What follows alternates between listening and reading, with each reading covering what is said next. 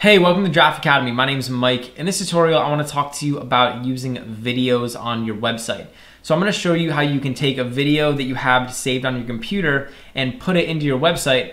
And then I'm also gonna show you how you can include a YouTube video into your website.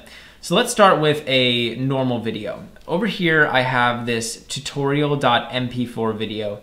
And this is just like one of the tutorials that I did for Giraffe Academy. And I want to include this on my website. So I can actually use the HTML video tag. And it's just gonna be video just like this. And I'm gonna give this an attribute called source. So it's gonna be src is equal to, and then inside of these quotation marks, I wanna type in the location of the video. So the relative path to the video from the current file. In my case, it's just tutorial.mp4. And then I can close off this video tag and we're actually gonna need an ending video tag as well.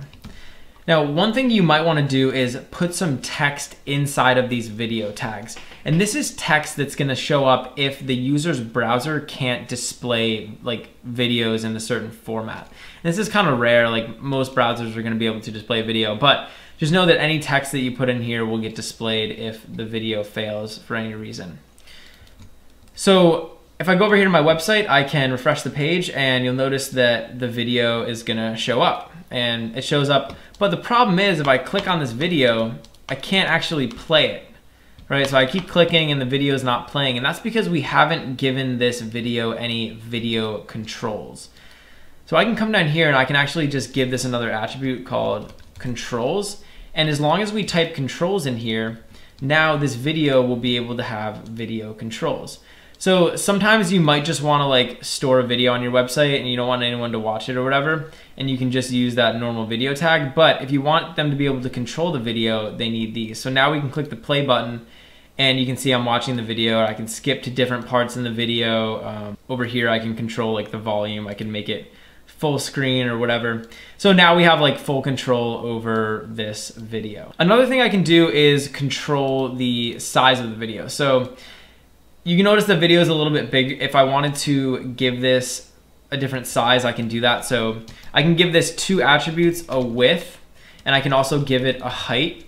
Now, one trick is you wanna keep the aspect ratio of the video. So I'm just gonna give this a width and the height will automatically adjust to fit whatever width I'm using. So we can give this a width of like, I don't know, 300, and this is gonna be 300 pixels. So now when I refresh the page, the video is gonna be 300 pixels. So it's a little bit smaller, a little bit easier for me to see, and you can control the width and the height by just using this width property. Another thing I can do is control the thumbnail of the video. So you'll notice that when I refresh the page, it just gives me like a picture of like the first scene of the video. But if I have a specific thumbnail, I can also use that on here. So over here, I can just say poster.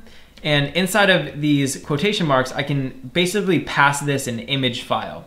So over here, I have this thumbnail image, and this is actually the thumbnail for that image on YouTube. So I can actually open up my index.html file again and I can just put in here that thumb.jpg image. And now when I refresh my page, it's gonna use that thumbnail for the video. So actually let me make this a little bit bigger. So instead of just showing the first scene of the video, like the first image from the video, it's actually gonna give me that thumbnail. And that can be really useful. Another thing you can do is specify whether or not you want this to autoplay. So I could say over here, autoplay, and now when I open this page, the video is gonna automatically start playing. So that can kind of like be useful in certain circumstances.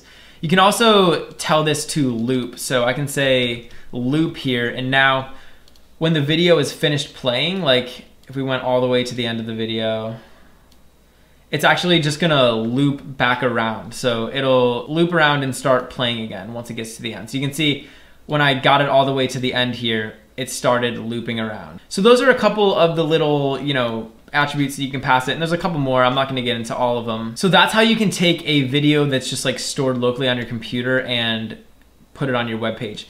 Now, in addition to doing that, you can also include YouTube videos. So this is something that a lot of people are probably gonna wanna do. A lot of videos are stored on YouTube and you wanna just like include them into your website and YouTube actually makes that really easy. So over here, I just have this dinosaur video And if I wanted to embed this dinosaur video onto my website, I can actually just come down here to YouTube and I can click this share button.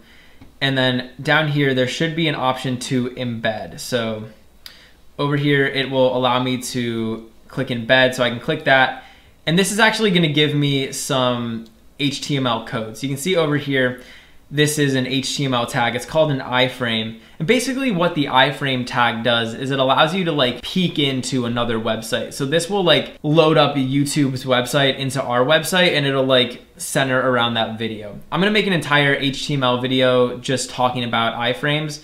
So don't worry too much about that right now. Just know that you can copy this code and then we can paste it in. And YouTube actually gives you options so you can like uncheck or check these different options and it'll uh, show player controls or show the video title and other actions. So I'm just gonna copy this. And now we can come over here into our HTML and we can just paste all this code in and we'll be able to use the YouTube video. And one of the cool things about these YouTube videos is you have all of the YouTube player controls. So like I have like the full screen YouTube button, I have like the YouTube volume button and all that stuff.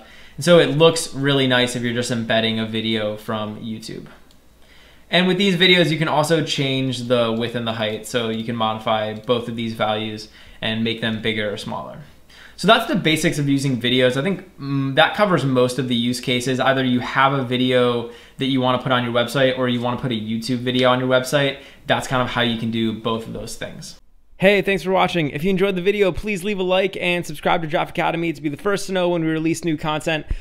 Also, we're always looking to improve, so if you have any constructive criticism or questions or anything, leave a comment below. Finally, if you're enjoying Giraffe Academy and you want to help us grow, head over to giraffeacademy.com forward slash contribute and invest in our future.